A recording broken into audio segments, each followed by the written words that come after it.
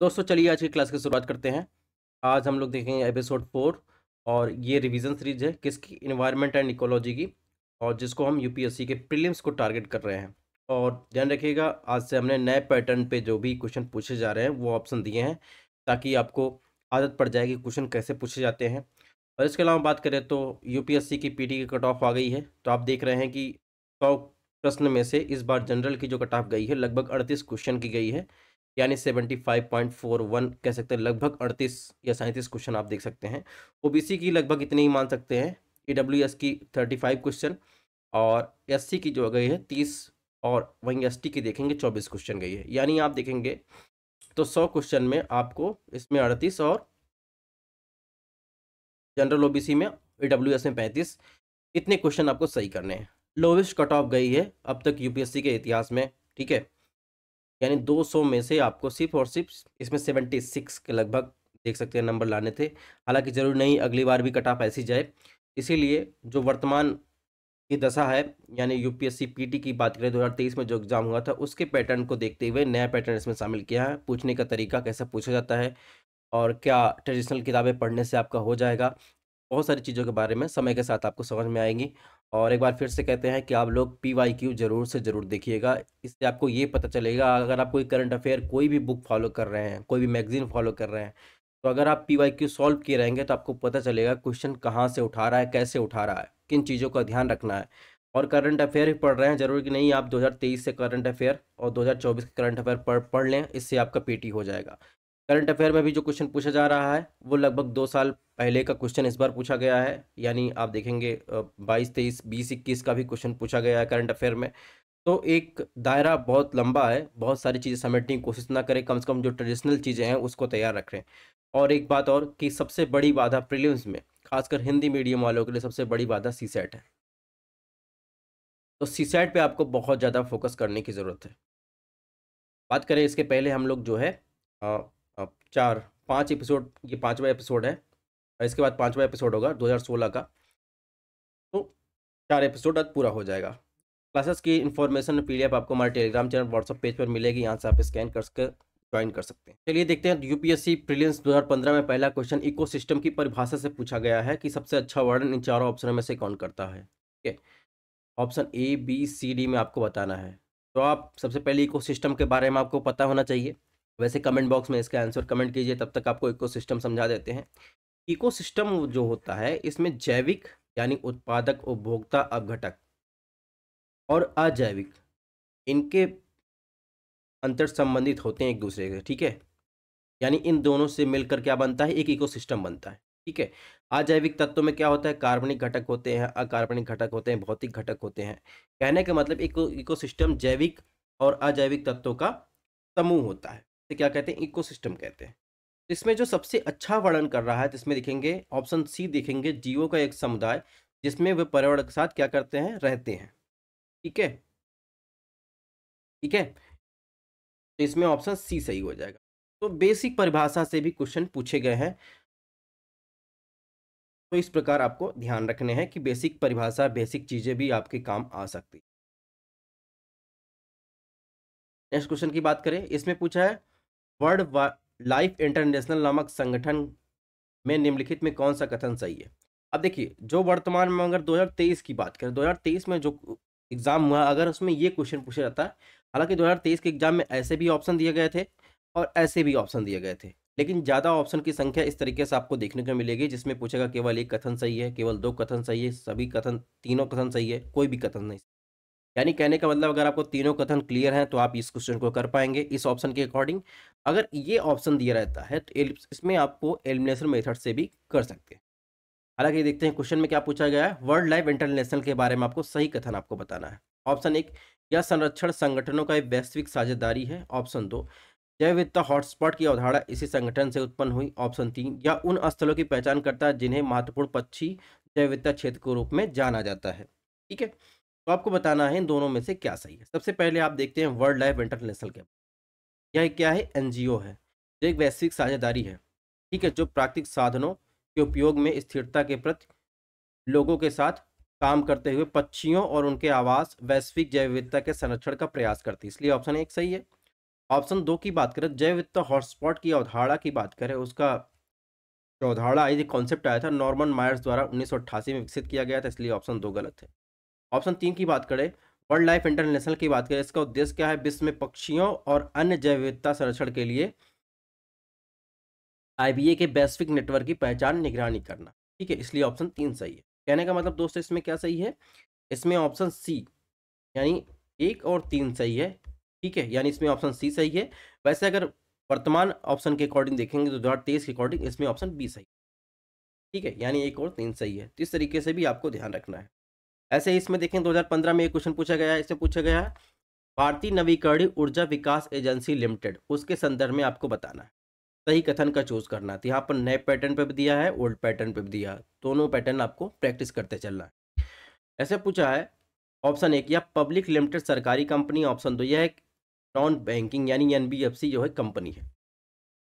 ठीक है तो चलिए सबसे पहले एरडा के बारे में देखते हैं। एरडा क्या है? एरडा नवीकरणीय यानी नवीन और नवीकरणीय ऊर्जा मंत्रालय के प्रशासनिक नियंत्रण के अधीन एक भारत सरकार का मेने रत्न का एक कंपनी है, ठीक है? इसकी स्थापना उन्नीस में जो है नवीकरणीय ऊर्जा क्षेत्र के विकास के लिए जो है, एक एनबीएफसी के तौर पर की गई थी, ठीक है? तो इस प्रकार अगर आप देखेंगे इसमें तो इसमें कौन सा ऑप्शन सही हो जाएगा? चलिए बताइए, कमेंट बॉक्स में इसका आंसर बताइए तो इसमें देखेंगे एक और दो, दोनों सही हो जाएगा, ठीक है? इसमें ऑप्शन सी सही है। वैसे इस ऑप्शन के अकॉर्डिंग ऑप्शन बी सही ठीक, अब मिनी रथ की बात हुई तो आप देखेंगे जो सेंट्रल लेवल के, आप पब्लिक सेक्टर की जो इंटरप्राइजेज होती हैं, उसका क्लासिफिकेशन किया जाता है महारत्ना, नवरत्ना मिनी रत्ना में। ठीक है तो इसके बारे में यहाँ पर डिटेल में दिया गया है। आपको वीडियो से या पीडीएफ से आप इसको पढ़ सकते हैं। हो सकता है इससे आपसे पूछा जाए, जैसे महारत्न कंपनियों में कौन कौन कंपनी शामिल है मिनी रत्न कंपनियों में कौन कौन शामिल है, उसके क्राइटेरिया क्या है? क्राइटेरिया आपको ज़रूर ध्यान रखना है, ठीक है? महारत्ना, नवरत्न की क्राइटेरिया क्या है? ठीक है? ऐसे ही आप आए मिनी रत्न की, क्राइटेरिया क्या है? कौन कौन मिनी रत्न कंपनी में शामिल है? तो यहाँ पर सारी डिटेल दी गई है कि आपकी ज़िम्मेदारी बनती है, इसको आप वीडियो पॉज करके आप पढ़ लीजिए या स्क्रीन ले लीजिए, ठीक है? ताकि आप क्वेश्चन आए तो आप सॉल्व कर सकें। नेक्स्ट क्वेश्चन की बात करें, दोस्तों, इसमें पूछा गया है निम्नलिखित में कौन सा राष्ट्रीय उद्यान तैरती हुई वनस्पत के साथ दलदल होने के कारण अद्वितीय है, जो समृद्ध जैव विविधता का समर्थन करती है? यानी रिच बायोडाइवर्सिटी का सपोर्ट करती है। ऑप्शन एक, भीतर कनिका राष्ट्रीय उद्यान, बी, केबुल लामजाओ राष्ट्रीय उद्यान, सी केवला देव राष्ट्रीय उद्यान, डी, सुल्तानपुर राष्ट्रीय उद्यान। तो अगर आपने इसके पहले क्लासेस की होगी जोग्राफी की तो हमने ये सब नेशनल पार्क हमने करवाए थे। इसकी विशेषता के आधार पर यह क्वेश्चन पूछा गया। और ऐसा दोस्तों पहली बार नहीं है कि विशेषता के आधार पर क्वेश्चन पूछा जाए, क्योंकि ये यूपीएससी है। पीसीएस तो है नहीं कि इसमें फैक्चुअल पूछेगा अप्लाइड ही पूछेगा। अब तो पीसीएस में भी पूछने लगा है। लेकिन आप देखेंगे तो मणिपुर में एक नेशनल पार्क है, केबुल लामजा ठीक है? यहाँ कर यहाँ पर आपको देखिए कुमडीज देखने को मिलेगी। तो ऐसा एक हाईलैंड टाइप का तैरता हुआ घास का एक एरिया है देखने को मिलेगा, जहाँ पर लोग रहते भी हैं। ठीक है? तो इसी ही कहा जा रहा है, इसके बारे में बात कर रहा है तो इसका ऑप्शन हो जाएगा ऑप्शन बी अन्य अगर बात करें तो भीतर कनिका कहाँ मिल जाएगा? ये उड़ीसा मिल जाएगा। उड़ीसा में सिपलीपाल नेशनल पार्क स्थित है। और इसके अलावा देखेंगे वेस्ट बंगाल में आप देखेंगे तो यहाँ पर सुंदरबन मिल जाएगा और नोरा वैली नेशनल पार्क बहुत ज़्यादा न्यूज़ में रहे हैं। इसको भी आपकी विशेषता इसमें यहाँ पर रेड पांडा के लिए जो है, एरिया महत्वपूर्ण है। ये भी आपको ध्यान रखना है। ठीक है, वैसे असम की बात करें तो असम में आपको यहाँ पर नवेरी नेशनल पार्क आपको लोकेशन ध्यान रखना है। असम में स्थित है, इसलिए बहुत, इस साल बहुत ज़्यादा न्यूज़ में था, ठीक है? और यहाँ कामेग रिवर बहती है, ठीक है? और ये फ़ेमस है गोल्डन मैसीर के लिए। तो इस इस प्रकार कुछ नेशनल पार्क है जिसको आपको ध्यान रखना है। नाम दफ़ा नेशनल पार्क की लोकेशन आपको ध्यान रखनी है। नाम दफ़ा नेशनल पार्क भी इस बार न्यूज़ में था, हमेशा न्यूज़ रहता है। और नाम दफ़ा नेशनल पार्क फ्लाइंग स्क्वेरल के लिए जो है, फ़ेमस है, ठीक है? यहाँ पर पाई जाती है। इसके अलावा अगर बात करें केवला देवघाना राष्ट्रीय उद्यान, ये कहाँ है? ये आपको राजस्थान मिलेगा, ठीक है? एक वर्ल्ड हेरिटेज साइट भी है। ये बात हो गई। अब हरियाणा में यहाँ पे आएँगे, हरियाणा में आपको सुल्तानपुर नेशनल पार्क मिल जाए ठीक है? तो ये कुछ, और इसका कलेसन नेशनल पार्क भी आपको हरियाणा में मिलेगा। तो ये कुछ नेशनल पार्क है, ये आपको ध्यान रखना है। और फैक्चुअल इन्फॉर्मेशन और की बात करें तो टोटल भारत में वर्तमान की स्थिति देखें तो छः नेशनल पार्क है, ठीक है? और सबसे ज़्यादा मध्य प्रदेश में है ओल्डेस्ट क्या है? जिम कॉर्बेट है। लार्जेस्ट आप देखेंगे हेमिस नेशनल पार्क, लद्दाख में स्थित है। यहाँ पर देखिए, वनस्पति उद्यान किसे कहते हैं? यानी एक ऐसा स्थान जहाँ अनुसंधान, शिक्षा के उद्देश्यों के लिए विभिन्न फूल पौधे लगाए जाते हैं प्रदर्शित किए। राष्ट्रीय उद्यान क्या होता है? यह प्राकृतिक पर्यावरण के संरक्षण के लिए एक राष्ट्रीय सरकार द्वारा निर्धारित क्षेत्र होता है। ठीक है? वन्य जीव अभ्यारण्य क्या होते हैं? ये एक ऐसा क्षेत्र जहाँ जानवरों के आवास, उनके आसपास किसी भी तरह की गड़बड़ी, उनकी सुरक्षा की जाती है और इन क्षेत्रों के जानवरों को पकड़ना, मारना, उनका शिकार करना सख्त वर्जित होता है। ठीक है? अब यहाँ पर जो रेड रेड में लिखा है, इसको आपको ध्यान रखना है। राष्ट्रीय उद्यान अत्यधिक प्रतिबंधित क्षेत्र होता है, जो सभी लोगों के लिए खुले नहीं होते। जबकि आप देखेंगे वाइल्ड लाइफ सेंचुरी की बात करें तो राष्ट्रीय उद्यान की तुलना में कब प्रतिबंधित होता है। ये भी आपको ध्यान रखना है। वहीं आप देखेंगे बायोडाइवर्सिटी कंजर्वेशन के जो है दो तरीके होते हैं। एक होता है इन सीटू कंजर्वेशन यानी उन्हें के प्राकृतिक आवास स्थान पर आप देखेंगे उनका संरक्षण करना। जैसे आप देखेंगे आप देखेंगे बायोडाइवर्सिटी हो गया बायोस्फीयर रिज़र्व हो गया नेशनल पार्क हो गया वाइल्ड लाइफ सेंचुरी हो गया। यहाँ पर जो भी संकटपूर्ण प्रजातियाँ हैं, उनको उनके निवास स्थान पर, प्राकृतिक निवास स्थान पर संरक्षण करना। दूसरा होता है एक्स सीटू कंजर्वेशन यानी कहीं और लाकर उनको संरक्षित करना। ठीक है, जैसे बोटेनिकल गार्डन एक्वेरियम हो गया जू हो गया, ठीक है। क्रायो प्रिजर्वेशन तकनीक हो गई, डीएनए बैंक हो गया तो ये आते हैं एक्स सीटू कंजर्वेशन तो ये सब चीज़ें भी आपको ध्यान रखनी। नेक्स्ट क्वेश्चन की बात करें दोस्तों, इसमें देखिए आईओसीएन और साइट्स के बारे में जो है, इसमें पूछा गया है, कौन सा कथन सही है? ऑप्शन एक दिया आईओसीएन संयुक्त राष्ट्र का अंग है और साइट सरकारों के बीच एक अंतर्राष्ट्रीय समझौता। ऑप्शन दो, ध्यान रखिएगा, पढ़िएगा ध्यान से। आईओसीएन प्राकृतिक पर्यावरण के बेहतर ढंग से प्रतिबंधित करने के लिए दुनिया भर में हज़ारों क्षेत्रीय परियोजनाएँ चलाता है। ऑप्शन तीन साइट्स उन राज्यों पर कानूनी रूप से बाध्यकारी जो इस इनमें शामिल हुए हैं। लेकिन यह कन्वेंशन राष्ट्रीय कानूनों की जगह नहीं लेता है। ठीक है? राज्य मतलब यहाँ पर देश समझिएगा जो इस पर साइन किए ठीक है? अब सबसे पहले आयुसीएन की बात करें। तो आयुसीएन जो है आयुसीएन की स्थापना पाँच अक्टूबर उन्नीस सौ अड़तालीस को हुई थी। और ध्यान रखिए ये यूनाइटेड नेशन का भाग नहीं है। तो इसमें क्या हो जाएगा? ऑप्शन एक गलत हो जाएगा। बाकी तो दोनों सही है। बाकी आप दोनों देख रहे होंगे तो नाम से ही पता चला होगा, सीधे सीधे सही है। तो इसमें ऑप्शन बी सही हो जाएगा और इसमें भी ऑप्शन बी नए पैटर्न के हिसाब से सही। हालाँकि हम लोग आयुसेन के बारे में देख लेते हैं।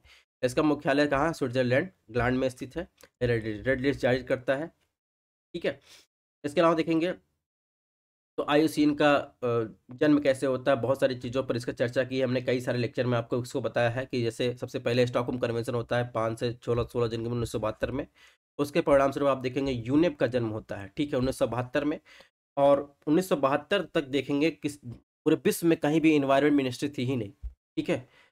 उन्नीस सौ बहत्तर के बाद कन्वेंशन के बाद ही विश्व में जो है, नॉर्वे स्वीडन जैसे देशों में इन्वायरमेंट मिनिस्ट्री आई।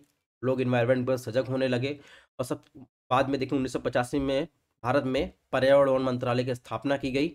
यानी कहने का मतलब स्टॉकहोम कन्वेंशन को ही पर्यावरण युग की शुरुआत माना जाता है। ठीक है? तो ये चीज़ें आपको ध्यान रखनी है। इसके बाद देखेंगे तो फिर ये क्रोनोलॉजी दी गई है कैसे यूनिप का जन्म होने के बाद और चीज़ें आगे बढ़ती हैं। तो इस वीडियो को आप पॉज करके या फिर वहाँ से आप पीडीएफ डाउनलोड करके वहाँ से पढ़ सकते हैं। जैसे आप देखेंगे तो कॉप की बैठक कहाँ से चालू होती है? तो कॉप की बैठक देखेंगे तो यू एन पे एक सौ अठानवे सदस्य जो साइन करते हैं और इक्कीस मार्च उन्नीस सौ चौरानवे को लागू होता है, उसके बाद कॉप की बैठक चालू होती है। और इसमें एक इंपॉर्टेंट कॉप है क्योटो प्रोटोकॉल जो जापान में होता है, कॉप थ्री में। ये बाध्यकारी समझौता है, जो ग्रीन हाउस इमिशन पर जो है रोक लगाता है। ठीक है? ये कुछ चीज़ें हैं जिनको आपको ध्यान रखना है, जिनके बारे में यहाँ पर डिटेल में दी गई है और ये चीज़ें आपको देख लेनी है।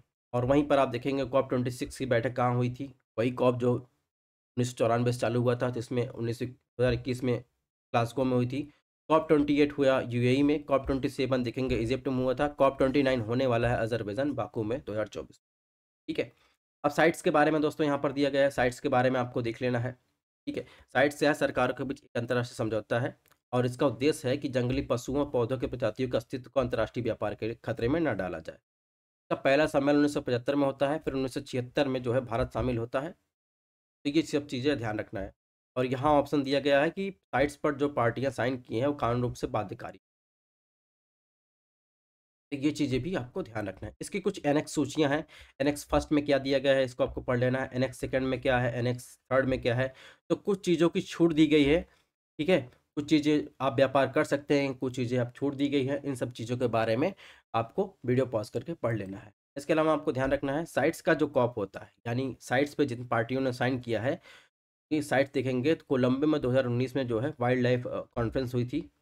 ये चीज़ें आपको ध्यान रखनी है कि लोकेशन वाइज कभी कभी क्वेश्चन पूछा जाता है। फिर आप देखेंगे COP twenty nine COP nineteen हुआ था 2022 में पनामा में। पनामा सिटी में साइट्स की बैठक हुई थी, ये चीज़ें आपको ध्यान रखनी है। अब देखिए 2023 में क्वेश्चन पूछा गया है। ध्यान से पढ़िएगा। आयुसीएन से संबंधित है। ठीक है? इसमें पूछा है, संक्रामक जीव जाति स्पीसीज विशेषज्ञ समूह जो वैश्विक संक्रामक जीव जाति डेटाबेस विकसित करता है, निम्नलिखित में किस एक संगठन संबंधित है? यानी एंडेंजर्ड स्पीसीज की बात कर रहा है, जो रेड लिस्ट जारी करता है। सीधे सीधे फैक्चुअल क्वेश्चन है।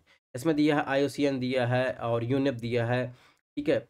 और इसमें दिखा United Nation World Commission for Environment and Development की बात किया है, World Wide Fund for Nature की बात किया है तो सीधे सीधे आप देखेंगे इसका संबंध कैसे है आईओसीएन संबंधित तो ऐसे भी क्वेश्चन देखेंगे 2023 में पूछे। तो यूनिप के बारे में हम लोग पढ़ ही चुके हैं, यहाँ पर वही चीज़ें फिर से दी गई हैं और इसमें देख सकते हैं। और यूनिप के तत्वाधान में बहुत सारी चीज़ें होती हैं, जैसे जैव विविधता पर कन्वेंशन होता है सीबीडी का, ठीक है, साइट्स का कन्वेंशन होता है सीएमएस का कन्वेंशन होता है, ओजोन परत, यहाँ पर आपको ध्यान रखना है, फैक्चुअल इन्फॉर्मेशन अगर आप पीसीएस दे रहे हैं तो आपके लिए बहुत ज़्यादा इंपॉर्टेंट है। आई के लिए भी इंपॉर्टेंट है। ठीक है? ओजोन परत के संरक्षण के लिए वियना कन्वेंशन होता है, पारा पर होता है, मिनमाता कन्वेंशन, मिलान के संदर्भ में क्वेश्चन पूछ लिया जाता है। खतरनाक अवशिष्ट पर सीमा पार गतिविधियों के निरंतरण के लिए वेसल कन्वेंशन होता है। सतत कार्बनिक प्रदूषकों पर स्टॉकहोम कन्वेंशन होता है, ठीक है? अंतर्राष्ट्रीय व्यापार, कुछ खतरनाक रसायन कीटनाशकों के लिए जो है रॉटरडम कन्वेंशन है तो इसको आपको ध्यान रखना है। वही दोस्तों, अगर आपसे पूछा जाए, ग्लोबल 500 अवार्ड किसके द्वारा दिया जाता है? तो आपको ध्यान रखना है यूनिप द्वारा और हर साल पाँच जून को जो है विश्व पर्यावरण दिवस जो है यूनिप के तत्वाधान में मनाया जाता है। तो ये चीज़ें भी आपको ध्यान रखें दो हज़ार पंद्रह में क्वेश्चन पूछा गया, भारत में पाए जाने वाले एक स्तनधारी स्तनपाई जीव, डोडोंग के संदर्भ में निम्नलिखित कथनों में कौन सा कथन सही है? ऑप्शन एक, यह एक शाकाहारी समुद्री जीव है। ऑप्शन दो या भारत के संपूर्ण तट पर पाया जाता है। ऑप्शन तीन या वन्य जीव संरक्षण अधिनियम की सूची फ़र्स्ट के तहत कानूनी सुरक्षा दी यानी वाइल्ड लाइफ प्रोटेक्शन एक्ट जो उन्नीस सौ बहत्तर का है, उसके शेड्यूल फ़र्स्ट के तहत इसको सुरक्षा दी गई है। तो आपको बताना है कौन सा जो है इसमें सही है। तो चलिए दोस्तों, इसका आंसर दीजिए फटाफट। तो आप देखेंगे डुडोंग डुडोंग की बात करें तो डुडोंग कह लीजिए या डुगोंग कह लीजिए या सीकाव भी कहते हैं। ठीक है? यह एक शाकाहारी स्तनधारी एकमात्र मौजूदा प्रजाति है, जो भारत समुद्र में विशेष रूप से रहती है। और आप देखेंगे संरक्षित क्षेत्र की बात करें, आपको मन्नार खाड़ी में मिल जाएगा। ठीक है? कच्ची खाड़ी मंडवान निकोबार द्वीप समूह में आपको मिल जाएगा।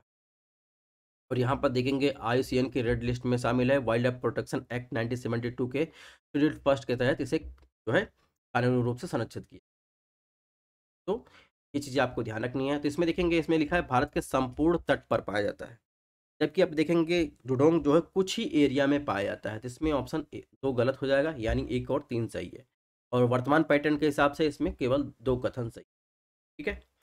अब देखिए 2020 में इसी से क्वेश्चन पूछा गया वाइल्ड लाइफ प्रोटेक्शन एक्ट से यदि किसी पौधे के विशिष्ट जाति को वन्य जीव सुरक्षा अधिनियम दो के शेड्यूल फोर में रखा जाए तो इसका तात्पर्य क्या है? ध्यान रखिएगा दोस्तों 2020 में क्वेश्चन।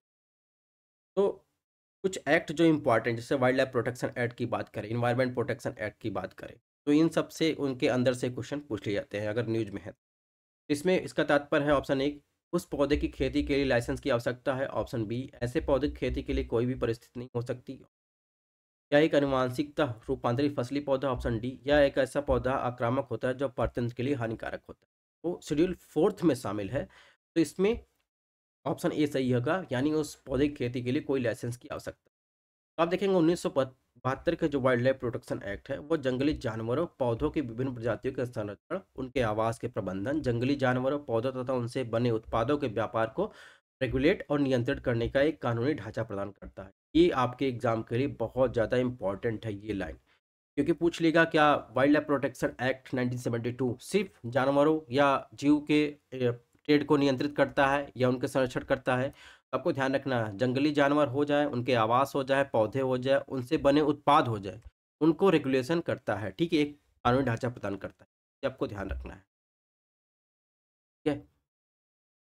अब इसमें क्या आपको ध्यान रखना अब इसमें देखिए, अगर संवैधानिक प्रावधान की बात करें तो आपको डीपीएसपी में ध्यान होगा आर्टिकल 48 ए में लिखा गया है कि राज्य पर्यावरण की रक्षा सुधार के लिए देश में वनों और वन्य जीव की रक्षा के प्रयास करेगा वही संविधान के अनुच्छेद इक्यावन ए जी में देखेंगे तो वनों और वन जीवों सहित प्राकृतिक पर्यावरण की रक्षा और उसमें सुधार करने प्रत्येक नागरिक का मौलिक कर्तव्य होगा। तो ये कुछ चीज़ें हैं आपको ध्यान रखनी है। वहीं आप देखेंगे बयालवे बयालीसवें संविधान संशोधन उन्नीस सौ छिहत्तर द्वारा दो है, देखिए वन्य और वन्य जीव से पक्षियों का संरक्षण राज्य सूची से समवर्ती सूची में हस्तांतरित कर दिया गया। तो ये दोस्तों इसमें देखेंगे कुछ संवैधानिक प्रावधान है जिसको आपको ध्यान रखने की ज़रूरत है। तो इस एक्ट के तहत आप देखेंगे कुछ अनुसूचियाँ जैसे शेड्यूल फ़र्स्ट में आपको ध्यान रखना है, इसमें क्या ध्यान रखना है? इस अनुसूची के तहत शामिल प्रजातियों को पूरे भारत में शिकार करना प्रतिबंधित है। सिवाय ऐसी स्थिति जब वे मानव जीवन के लिए खतरा हो और ऐसी बीमारी से पीड़ित हो जिसका ठीक होना संभव नहीं है। तो यही सेम ऑप्शन उठा के जो है, यूपीएससी के पीटे में पूछ लिया गया है। तो ये चीज़ें आपको ध्यान रखनी है। ठीक है? और इसमें क्या क्या शामिल है, ये भी आपको ध्यान रखना। शेड्यूल टू में क्या कहा गया है? इसमें जो है व्यापार पर प्रतिबंध आज शामिल है, ठीक है? इसमें देखेंगे असमिया, मैकॉक, हिमालय काला भालू ठीक है? भारतीय नाग, इंडियन कोबरा, ये सब चीज़ें। तो इसमें जो इम्पोर्टेंट है, वो हम आपको बता दे रहे हैं। शेड्यूल थर्ड और फोर्थ की बात करें तो इसमें देखेंगे तो जो संरक्षित जीव हैं, उनको आपको ध्यान रखना है। यानी इसमें प्रतिबंधित शिकार वाली संरक्षित प्रजातियाँ शामिल हैं, लेकिन किसी भी उल्लंघन के लिए दंड, पहली दो अनुसूचियों की तुलना में कम है। पाइप में देखेंगे तो इसमें ऐसे जन शामिल किए गए जिन्हें वर्मिन यानी परजीवी कहा जाता है। इसमें जंगली जानवरों की केवल चार प्रजातियाँ शामिल की गई हैं, कौवे, फल चमगादड़, चूहा और मूसा। वर्तमान की बात करें तो वर्तमान में आप देखेंगे सिक्स सिक्स शेड्यूल हो गया। वर्तमान में देखिए संशोधन भी हो चुके हैं। ठीक है, इसी एक्ट के तहत आप देखेंगे तो राष्ट्रीय वन्य जीव बोर्ड बना है, राज्य वन्य जीव राज्य वन्य जीव बोर्ड बना है, केंद्रीय जैविक उद्यान या चिड़िया प्राधिकरण बना की स्थापना की गई है और देखेंगे इसी एक्ट के अंतर्गत आप देखेंगे तो नेशनल टाइगर कंजर्वेशन अथॉरिटी की स्थापना की गई 2005 में, जिसके अध्यक्ष केंद्रीय पर्यावरण मंत्री होते हैं और राज्य का पर्यावरण मंत्री इसका उपाध्यक्ष होता है और केंद्र सरकार एनटीसीए की सिफारिश पर किसी क्षेत्र को बाघ अभ्यारण्य घोषित कर सकता है। ये आपके लिए ये लाइन इंपॉर्टेंट हो जाती है। यहाँ से ये आपको अंडरलाइन कर लेना, ठीक है? और इसी एक्ट के अंतर्गत वन्य जीव अपराध ब्यूरो की स्थापना की गई तो ये चीज़ें आपको ध्यान रखना है। और इसी एक्ट के तहत आप देखेंगे पाँच प्रकार प्रचार के जो है कंजर्वेशन एरिया निर्धारित किए गए जिसमें अभ्यारण्य राष्ट्रीय उद्यान और इसके रिज़र्व और सामुदायिक रिज़र्व टाइगर रिज़र्व ये सब भी आपको ध्यान रखना है। इसके बाद संशोधन होता है उन्नीस सौ इक्यानवे में ठीक है? जिसमें आप देखेंगे अपराध के लिए दंड और जुर्माने का सशक्त किया गया। फिर आप देखेंगे एक, एक बार फिर संशोधन होता है दो हज़ार दो में ठीक है? इसमें सामुदायिक रिज़र्व और कंजर्वेशन रिज़र्व की अवधारणा प्रस्तुत की गई। फिर 2006 में जो है संशोधन होता है जिसमें आप देखेंगे राष्ट्रीय बाघ संरक्षण प्राधिकरण हेतु गठन का प्रावधान होता है। इसके बाद 2022 में संशोधन होता है जो लेटेस्ट संशोधन था, इसमें संरक्षित प्रजातियों को बढ़ाने के लिए और साइट्स को लागू करने के लिए जो शेड्यूल थे छः से घटाकर आप देखेंगे, चार कर दी गई है। ठीक है? तो ये चीज़ें आपको ध्यान रखनी है। इसमें आपको ध्यान रखना है कि इस अधिनियम के तहत या शेड्यूल फोर के तहत आप देखेंगे धार्मिक और किसी अन्य उद्देश्य के लिए हाथियों के उपयोग की अनुमति देता है। तो ये लाइन आपको ध्यान रखना है। अब देखिए, कुछ वाइल्ड लाइफ प्रोटेक्शन एक्ट के तहत कुछ पहले की गई हैं, जैसे बाघ संरक्षण परियोजना, ये उन्नीस सौ तिहत्तर में चालू की गई, ठीक है? एली प्रोजेक्ट एलिफेंट उन्नीस सौ बानवे में चालू किया गया, ठीक है? वन्य जो गलियारों की बात की, ये भी देखेंगे project Wildlife Protection Act nineteen के तहत तैयार किया गया। ठीक है एक फैक्चुअल क्वेश्चन पूछा है 2015 में, इसने पूछा, निम्नलिखित में कौन सा भारत का राष्ट्रीय जलीय जीव है? खारे पानी का मगरमच्छ olive ridley turtle Ganga dolphin घड़ियाल। ठीक है तो सबको पता है कि गंगा डॉल्फिन ठीक है, एक फ्रेश वाटर में रहने वाली जीव है, ठीक है डॉल्फिन और तो ये क्या है? भारत का राष्ट्रीय जलीय जीव नेक्स्ट क्वेश्चन की बात करें इसमें पूछा है, निम्नलिखित में से कौन सा ओजोन क्षयकारी पदार्थों के उपयोग को नियंत्रित करने वाला और चरणबद्ध तरीके से बंद करने के मुद्दे से जुड़ा हुआ है? ऑप्शन एक ब्रेटन वुड सम्मेलन. B Montreal Protocol C Kyoto Protocol D Nagoya Protocol तो आप देखेंगे तो अभी मैंने बताया कि यहाँ पर देखेंगे। ब्रेटन वुड सम्मेलन आईएमएफ और विश्व बैंक से संबंधित है। Kyoto protocol greenhouse gas के उत्सर्जन कटौती से संबंधित है। इसके पहले मैं बता चुका हूँ, नगोया प्रोटोकॉल देखेंगे तो ये अनुवांशिक संसाधनों के लाभ से साझा करने के बारे में है। ठीक है, वहीं आप देखें मॉन्टियाट प्रोटोकॉल, ये ओजोन डिप्लेशन से संबंधित है। ठीक है, और ओजोन परत के संरक्षण के लिए वेना कन्वेंशन का एक प्रोटोकॉल। इसमें क्या सही हो जाएगा दोस्तों? इसमें मॉन्टियन प्रोटोकॉल सही हो जाएगा। नेक्स्ट क्वेश्चन की बात करते हैं दोस्तों, इसमें क्वेश्चन नंबर नाइन देखिएगा। क्वेश्चन नंबर नाइन में क्या पूछा है इसमें? ग्रीन क्लाइमेट फंड के संबंध में आपको कुछ कथन दिए गए हैं, उसमें आपको सही उत्तर बताना। ऑप्शन एक, इसका उद्देश्य जलवायु परिवर्तन का मुकाबला करने के लिए विकासशील देशों को अनुकूल और समन प्रथाओं में सहायता करना, यानी एडाप्टेशन मिटिगेशन यानी जलवायु परिवर्तन के प्रभाव को कम करना और भविष्य में ऐसे प्रभाव जलवायु पर न पड़े, जो नुकसान करे, उसके लिए पॉलिसी बना। ठीक है? ऑप्शन दो की बात की, इसकी स्थापना यूनिप, ओईसीडी और एशियन डेवलपमेंट बैंक और वर्ल्ड बैंक के तत्वाधान में की गई। आपको सही उत्तर बताना है। तो सबसे पहली बात, ग्रीन क्लाइमेट फंड की बात करें तो इसकी स्थापना आप देखेंगे। इसका उद्देश्य यह है कि आप जो जलवायु परिवर्तन संबंधित जो विकासशील देश हैं, जिनके पास रिसोर्स नहीं है, उनको रिसोर्स उपलब्ध करवाना, फंड उपलब्ध करवाना और इसका मैनेजमेंट, फंड का मैनेजमेंट यूएनएफसीसी करता है, ठीक है? ताकि जो डेवलपमेंट कंट्री है, वो सॉरी, डेवलपिंग कंट्री हैं, वो जो है परिवार, परिवर्तन को, जलवायु परिवर्तन के प्रभाव को कम कर सके और उससे संबंधित जो भी ज़रूरतें हैं, उनको अपना सके। तो इसमें ऑप्शन एक सही हो जाएगा, दो गलत हो जाएगी। यूएनएफसीसी के तत्वाधान में स्थापित किया गया है तो इसमें ऑप्शन एक सही होगा, यानी ऑप्शन ए सही है।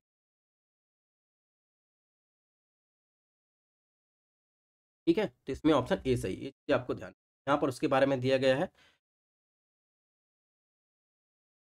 तो ये चीज़ें आपको देख लेनी है। यहाँ पर देखें कोपन हेगन में समझौता होता है कॉप फिफ्टीन में 2009 में इसी में ग्रीड क्लाइमेट फंड की अवधारणा आती है, ठीक है? और इसी में आप देखेंगे तो यहाँ पर सी अपनाया गया, यानी common but different responsibility and respective capability के बारे, बात की गई। और बहुत सारी चीज़ें इसमें दी गई हैं। जैसे आप देखेंगे तो क्योटो प्रोटोकॉल का किरण संबंधी विस्तृत नियम बनते हैं। इसी में आप देखेंगे सी बी की अवधारणा आती है और इसी में आप देखेंगे कॉर्बेट कार्बन मार्केट की अवधारणा आती है, कार्बन क्रेडिट की अवधारणा आती है, जिसको आपको देख ठीक। यहाँ पर उसके U N F C C के बारे में दिया गया है सी बी डी के बारे में दिया गया है और यहाँ पर आएँगे तो U N C C D के बारे में दिया गया है ग्रीन इन्वायरमेंट फैसिलिटी के बारे में दिया गया है। तो इन सब चीज़ों को आपको रिवीजन कर लेना है, इसके बारे में हम लोग चर्चा करते हैं।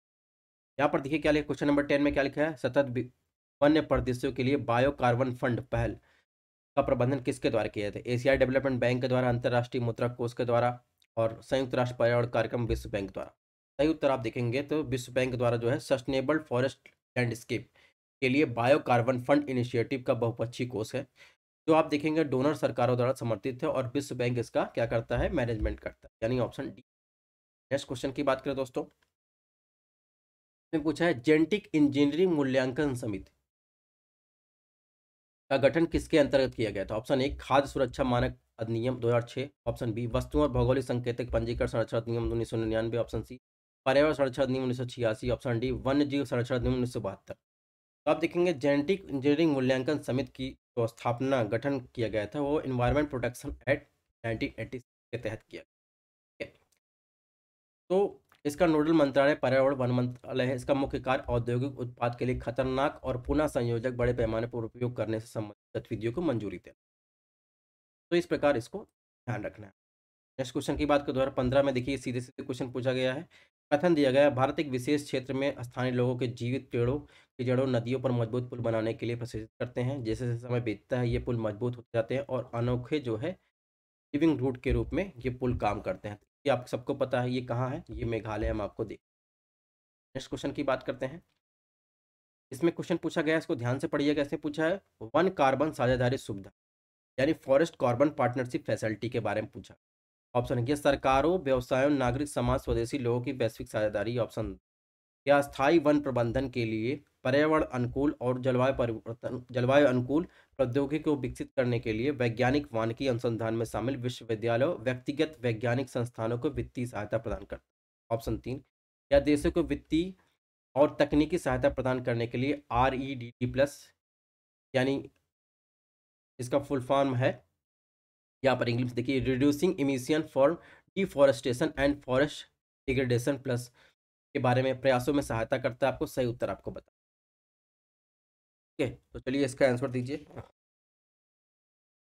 इसमें देखिए, सबसे पहले आप देखिए फॉरेस्ट कार्बन पार्टनरशिप फैसिलिटी के बारे में हम लोग देखते हैं।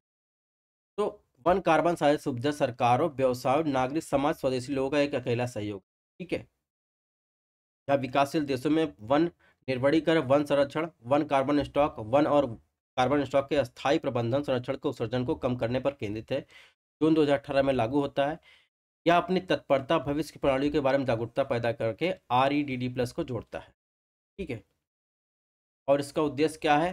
देशों को जो है आर ई डी प्लस के प्रयासों के परिणाम स्वरूप उनके उन्हें आवश्यक वित्तीय और तकनीकी सहायता प्रदान कहने का मतलब कुल मिलाकर, इसमें जो है आंसर सही हो रहा है, इसमें हो रहा है तीन और एक, यानी ऑप्शन सी ठीक है? यहाँ पर उसके बारे में और चीज़ें दी गई हैं, जैसे प्रमुख बिंदु क्या है? यानी आर ई प्लस का कार्यक्रम का उद्देश्य क्या निर्वणीकर वन वनीकरण के माध्यम से कार्बन को उत्सर्जन में कमी लाना, ठीक है? कार्यक्रम क्या क्या चल रहे हैं? कहीं कहीं आप सुनते होंगे, एक R E D D plus होता है, एक यू यूएन आर तो एक यूनाइटेड नेशन द्वारा चलता है, दूसरा आप देखेंगे यूएन द्वारा चलता है, ठीक है? और यूनाइटेड नेशन का जो आर ई डी प्लस होता है, जो डिफॉरेस्टेशन हो रहा है, उसमें जो है देखेंगे तो फाइनेंस के लिए मदद करता है तो वो कुछ क्राइटेरिया होता है। उनके पहुँच के लिए आप देखेंगे यूनाइटेड नेशन का आर प्लस जो होता है, वो कैपेबिलिटी जो है, कैपेसिटी जो है बिल्डिंग करता है। ठीक है? ताकि उनको वो यू द्वारा जो आर प्लस कार्यक्रम चलाया जा रहा है, उस पर क्वालिफाई हो सके और फंड जो है पा सके।